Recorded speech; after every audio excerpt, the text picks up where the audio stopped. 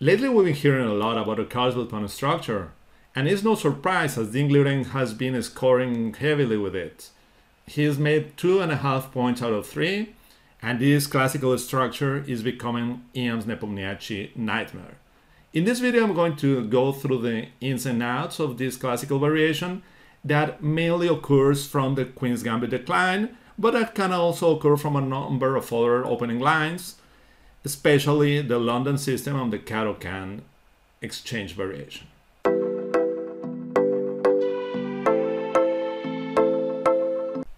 I'm going to explain the basic ideas of the Carlsbad structure by showing two games. First, I'm going to explain the minority attack with the classical Alexander Kotov versus Ludek Pachman, and later I'm going to explain the central break E3 E4 with the game Ivanchuk versus Lazar Bruzon. Let's start. D4, E6, C4, Knight F6, Knight C3, D5, and Bishop G5. Instead, C takes D5, E takes D5, and Bishop G5 is the modern move order that warranties the Carlsbad variation of the Queen's Gambit decline. Bishop G5 is a classical line that maintains the tension between those pawns. So after bishop e7, e3, castle, knight f3, knight b d7, and white keeps the tension with rook c1. After a6, black is trying to capture on c4, playing b5 and bishop b7, reaching a nice position. So white trades. And we reach the Carlsbad structure.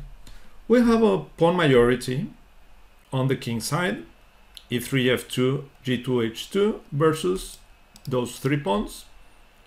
But the reality is that we cannot claim that, that this would advance in anytime soon because d5 is a very strong pawn that controls e4 besides the semi-open e-file makes the advance e4 difficult. So Playing for this pawn majority is, is not easy.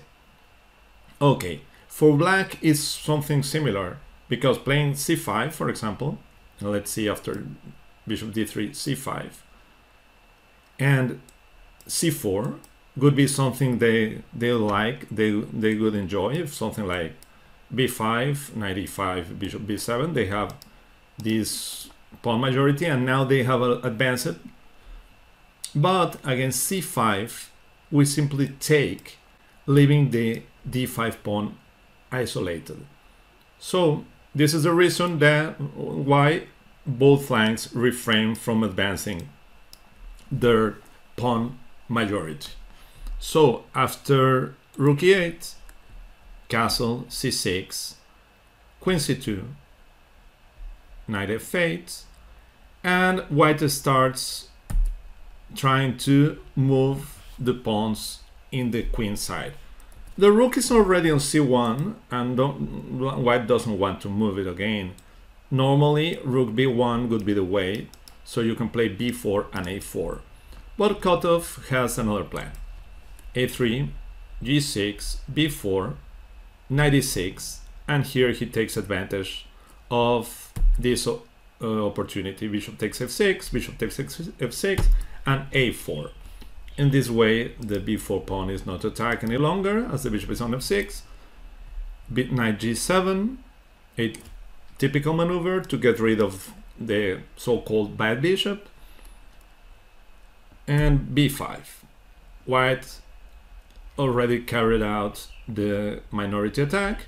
E takes b5, a takes b5, bishop f5, and after bishop a5, knight f5, b takes e6, b takes e6, white's operation has been a success. Why? Because white is only having a pawn island, a pawn group, a big pawn group, while black has two, this one and this one.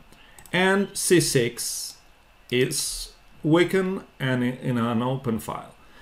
This by itself, it's not clear that would be enough for a victory, so you have to try to mm, create a second weakness.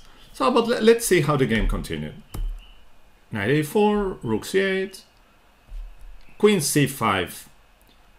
Now this is a bit weird, but white I guess intends to get to b6 or to a7. After knight d6, we have to take care of c4, knight d2, rook e7, and rook b1. So white is smoothly trying to bring all, all its pieces, all his pieces to the queen side. Rook b7, takes on b7, and queen a7. After knight d6, black is already threatening rook a8, and thus white plays queen a6, trying to answer rook a8 by queen takes c6. After queen c7, rook c1, bishop d8, black pieces are tied up to the defense of the c6 pawn, but it's not clear how to mm, increase the pressure.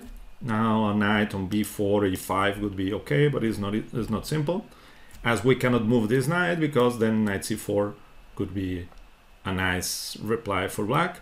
So uh, after bishop d8, knight c5, and queen a5. Why black wants to get rid of the queens because the queen is too active. Luckily the knight defends the rook, so there is nothing hanging. Queen d3, queen b5, g3, improving the position of the king, bishop b6, rook b1. Now after the trade, white is a bit better in this endgame. Bishop a5, knight b3, and bishop d8. Okay, this kind of ending is uh, pretty one, one, one way, you know? Black won't ever win. So this is what we aim in this kind of variation. And very often we will manage to, to capture this pawn. Of course, this is a Grandmaster level game and black resistance is pretty tough. Let's see how, how the game continued. Knight bc5, bishop e7, knight d7, rook c7, rook, knight b8. He's making a original maneuver intending to play knight e5, knight c4, rook a1. Now rook a6 is threatened, rook c8, knight d7, rook c7, check. Okay, at least the rook invades white and black position. King g7, knight e5, knight takes, knight takes, bishop d6, knight d3, and this is a famous position. Black has got only one weakness, as I, as I said before. And the way to create a second weakness, it's usually in this kind of position, g4, to gain some space and to restrict the h-pawn. So black was forced to play, instead of king f6, the natural king f6, h5 would have been the right move and probably the game would have ended in a draw at the end, but who knows. Okay, after king f6, g4, strong move, king e6, now white will be pressing on black's position for a long while. Rook b7, check, rook e7, white doesn't want to trade rooks, he just want to mm, to confuse um, black f6, h4. In this way, we prepare h5 sometimes, but sometimes g5 can be also a good move. Rook b7, king f3, rook f7, check again. He covers with rook, rook d8, and the rook becomes active again. So there are several ways for white to continue, but I guess this is the most testing king e7, rook c8. There was a little trap. If rook h8, then black plays bishop takes e5. And of course, white couldn't capture on h7 because after king e6 is absolutely lost. Black, black won a piece. After rook c8, bishop takes c7, c5, sorry. Instead, rook c7, good mate, rook h8 and now this is winning because bishop takes then check and check. You're taking the rook with a pawn, extra pawn, and a winning position. So after rook c8, bishop takes c5, d takes c5, king d7, rook h8, king e6, and rook d8. The, the material is even, but black is under severe pressure because the, the pawn on c6 will need protection. And as we'll see, even when the black rook is not entirely passive, white king will be able to break through e5 and this will give white a decisive attack decisive advantage sorry. G takes f6 f, f takes g5 sorry. H takes g5 king f7 king g3 well done because king f4 was answered by check and in case of king e5 rook e4 mate so instead king g3 slowly but surely and f3 now e4 is protected. Now the king is ready to come to e5 rook a3 trying to trade pawns. King f4 check. King e5 rook a3 again. And now white is winning after rook takes e6 rook takes e3 and capturing the d5 pawn? The, the idea is simple. Now the game continues with rook d3. If instead black captured, then check, king d8, rook takes h7, and black is lost because the g6 pawn is almost about to fall, and there's already one, uh, one pawn down. If rook f5, then king d6. And as the, the black, white is threatening mate, black cannot capture on g5.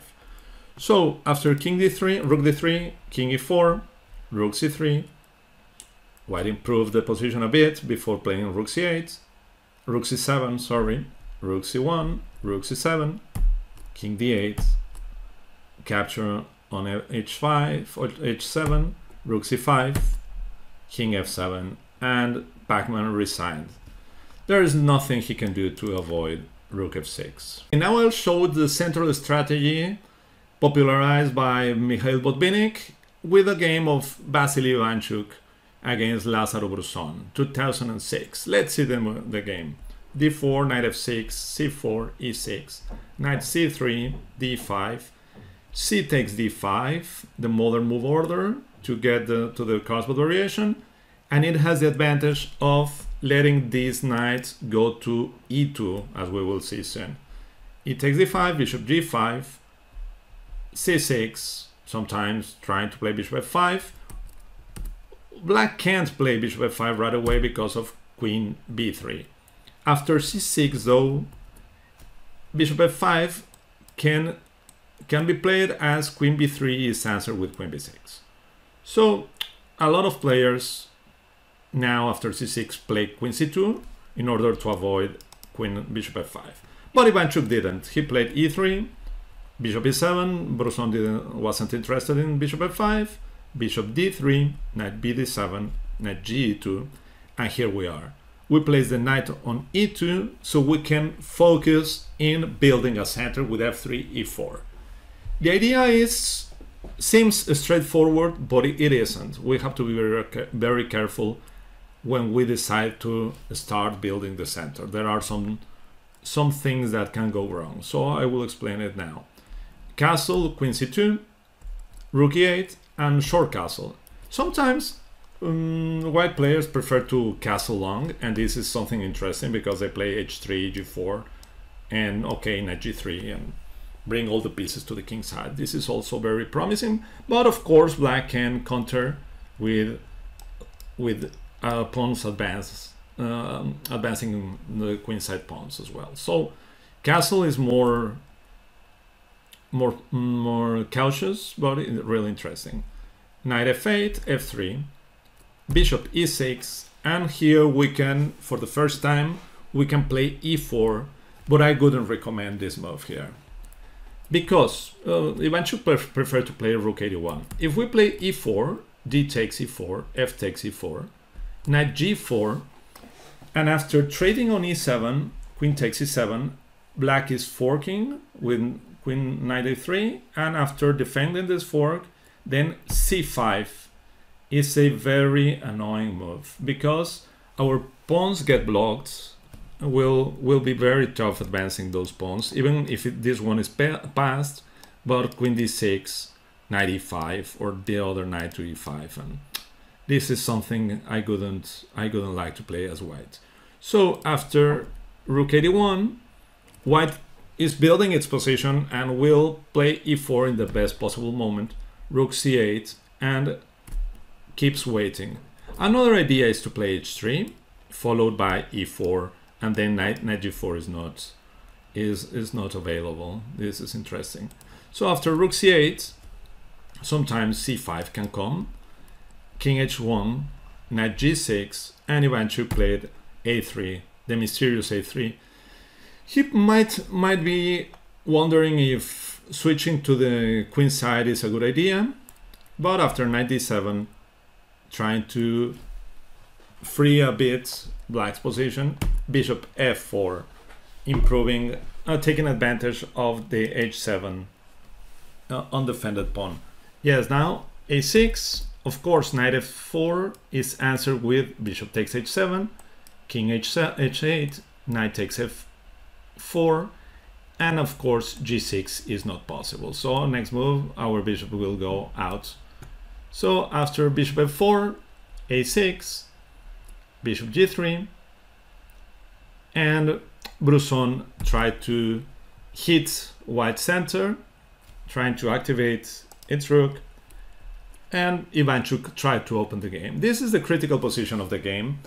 Uh, Bruzon made a blunder. After knight f6, he got outplayed by e5 and f4.